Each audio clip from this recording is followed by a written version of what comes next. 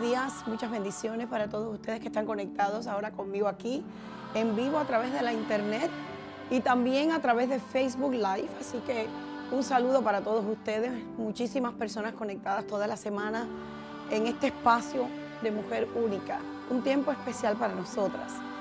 Y siempre eh, es un nuevo día y una nueva oportunidad que Dios nos da para, eh, para hacer nuevos proyectos, para tener una, una relación más íntima con Dios. Cada día es una decisión, perdón, de parte nuestra para nosotros poder reconocer la grandeza de Dios, para poder eh, pedirle al Señor que nos perdone por, por cosas que, que hayamos hecho el día antes o momentos antes, reconocer la grandeza de Dios, reconocer que Dios es un Dios de misericordia, un Dios de amor.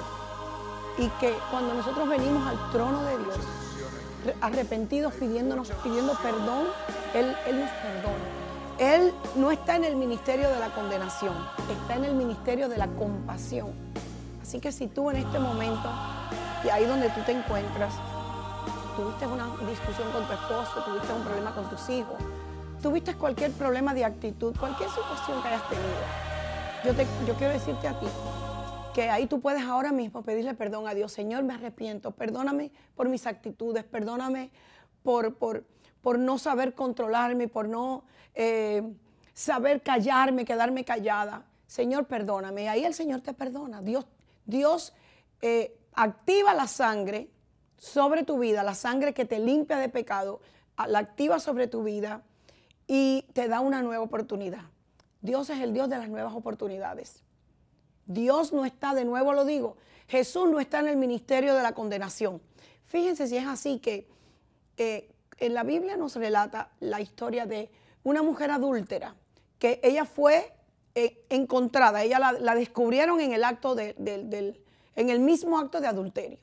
O sea, ella estaba y en ese momento, en ese tiempo, cuando una mujer era hallada en, adulterio, la, penalidad era matarla, la, la, pedeaban.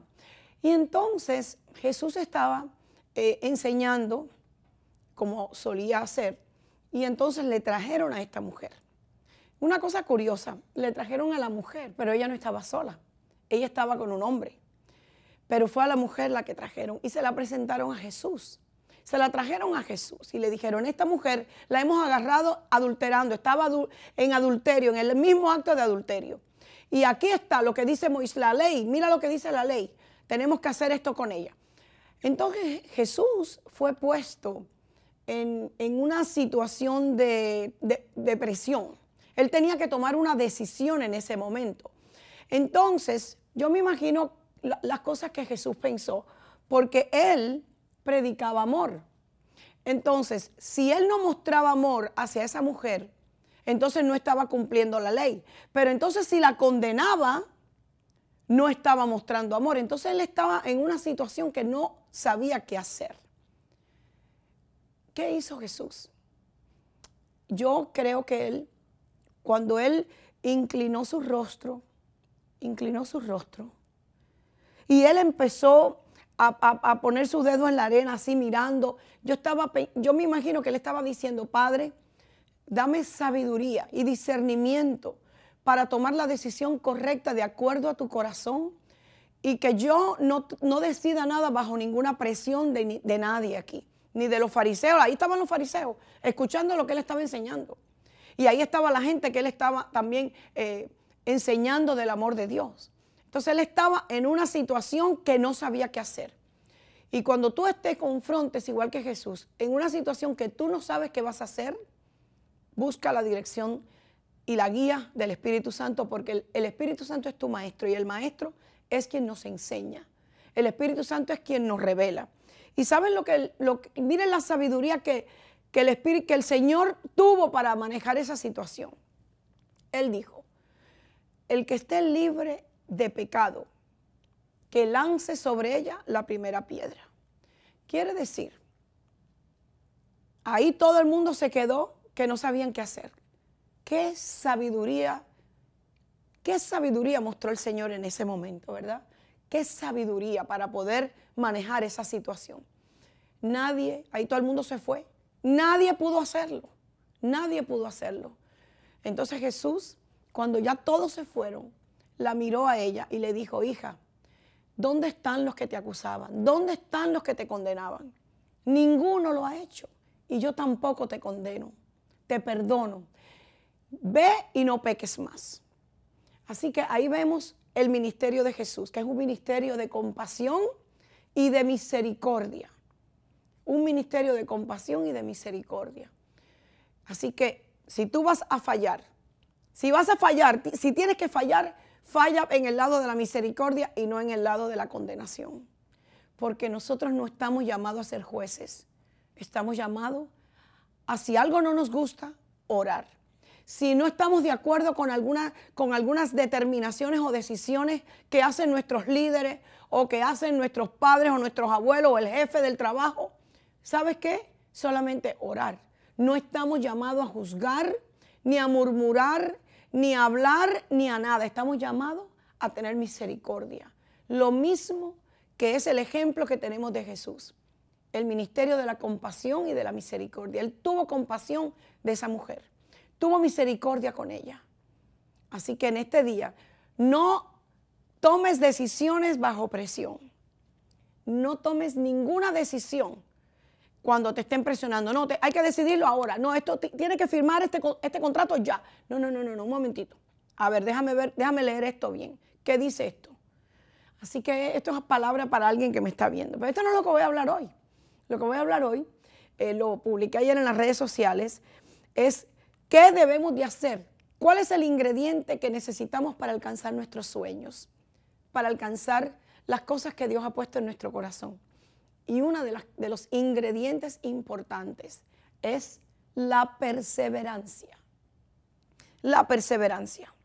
Para poder alcanzar tus sueños tienes que ser una persona perseverante, un hombre y una mujer perseverante. No te puedes rendir. A veces las críticas de las personas hacen que nos rindamos, que no nos, o no nos sentimos capacitados para poder em, desempeñar esta labor no nos sentimos que tenemos eh, conocimiento o que tenemos estudios para poder enfrentar eso. Pero ¿sabes qué? Qué bueno, porque cuando tú te sientes poco capacitado, entonces ahí es cuando viene la gracia de Dios sobre tu vida, el favor de Dios sobre ti y te da la habilidad para tú poder hacer eso que tú en tus fuerzas no lo puedes hacer. Así que qué, qué tremendo. Cuando tú reconoces que yo no puedo hacer eso, yo no estoy capacitado. Ah, pero hay uno que es quien te empodera. Hay uno que es el que te da la fuerza. Hay uno que es el que te da la sabiduría, la gracia y el favor para tú poder desempeñar todo, todo lo que Dios tiene para ti, el plan que Dios tiene para ti. Porque el plan que Dios tiene para ti es bueno, es bueno. Así que cuando las personas piensan que no somos capaces, o los hechos y las situaciones nos desaniman, la mayoría de las personas, la mayoría de las personas se rinden, se rinden. Yo quiero decirte que muchas, muchas gente que han aportado algo bueno a la humanidad, a la, al mundo, a la ciencia, conocimiento, son personas que han sido perseverantes, que no se han rendido. Uy, han tratado y han tratado y han tratado y han aprendido qué no deben de hacer cuando tú fracasas no es, no es un fracaso, es simplemente que eso que no te funcionó, pues entonces no lo vuelvas a hacer. Hay algo nuevo, tremendo. Segunda de Timoteo capítulo 2 versículo 13 dice, si perseveramos, también reinaremos. Si perseveramos, también reinaremos.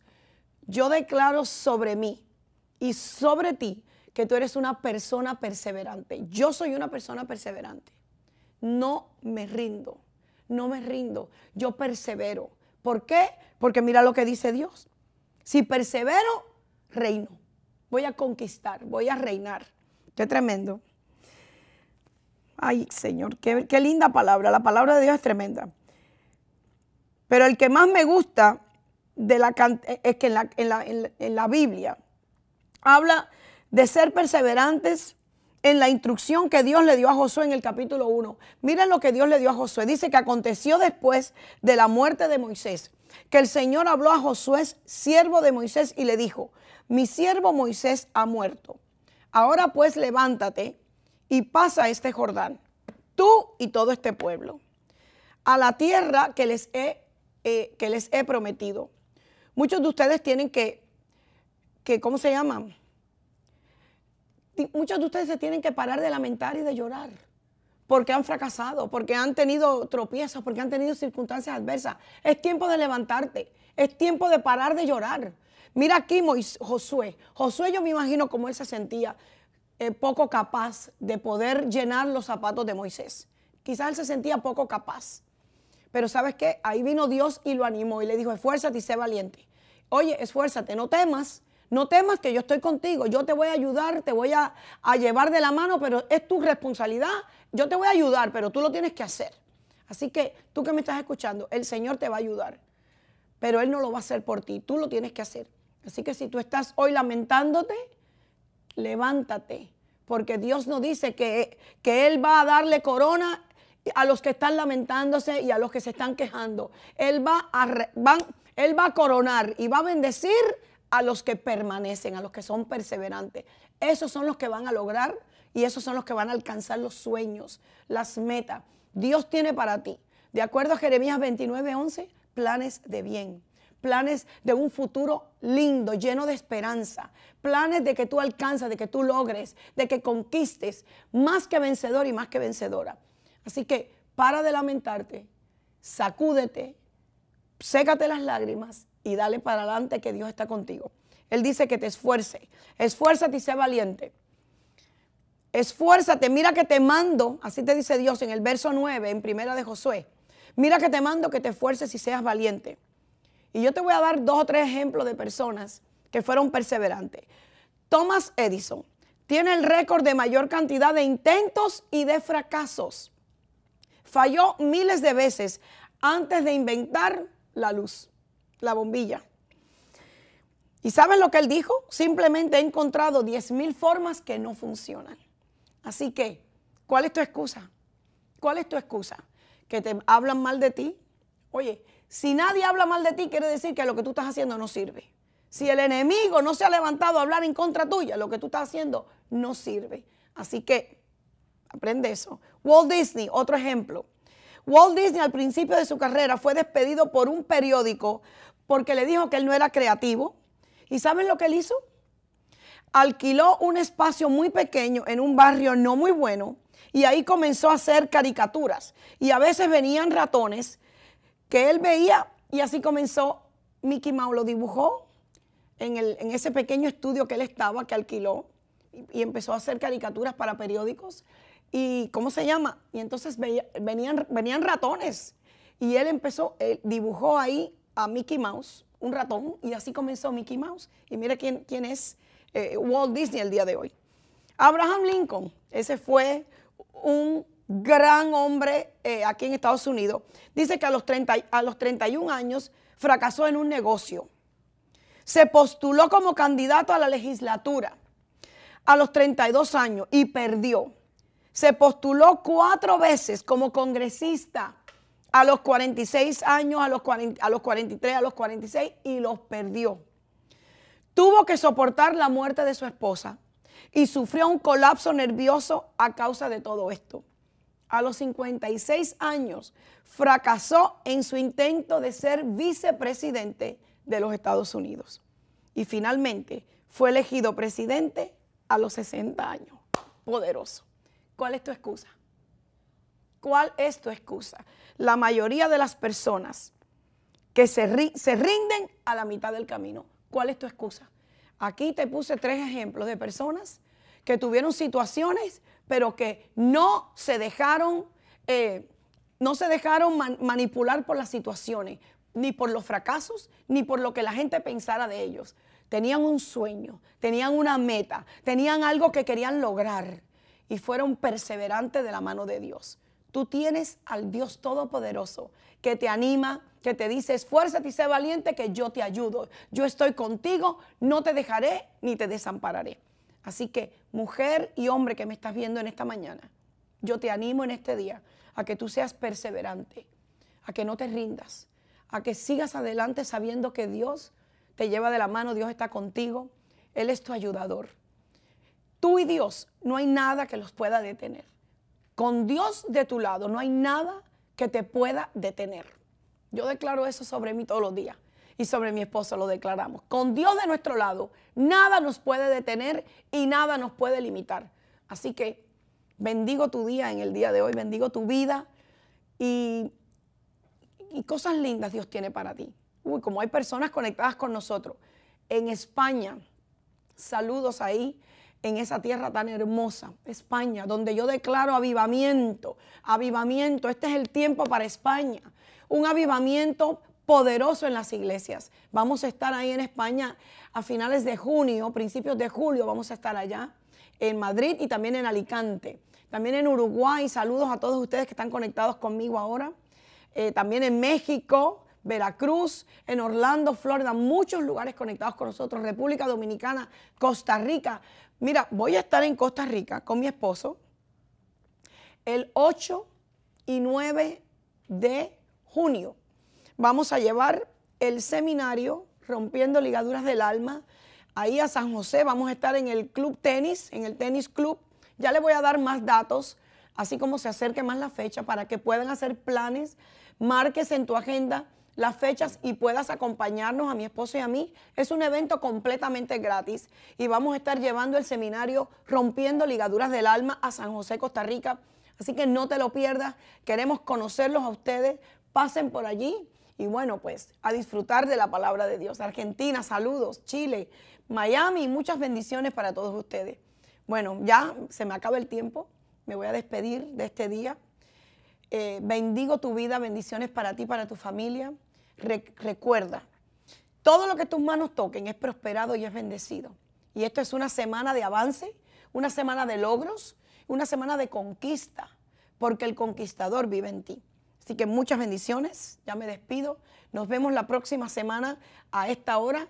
Estaré aquí conectada con todos ustedes. También me están viendo eh, a dónde más. Nos están mirando ahí en Guatemala, en Puerto Rico. Si te perdiste o quieres volver a ver la transmisión en vivo de Mujer Única con la pastora Mariam Delgado, puedes sintonizar aoradio.tv a las 2 de la tarde o 9 de la noche cada miércoles. Sé parte de Mujer Única donde quiera que te encuentres y recibe la poderosa palabra que Dios tiene para ti.